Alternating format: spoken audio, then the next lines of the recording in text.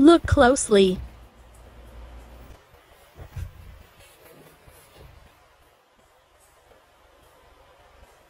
Did you see that? Let's replay it one last time just in case.